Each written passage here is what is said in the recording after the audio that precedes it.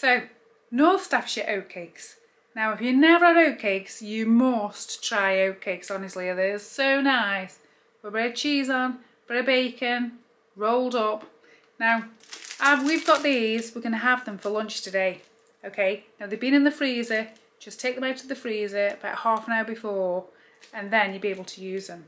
Now if you want to use just a couple of them from frozen, make sure that you just um, put a bit of uh, cling film between them or else you won't get them apart.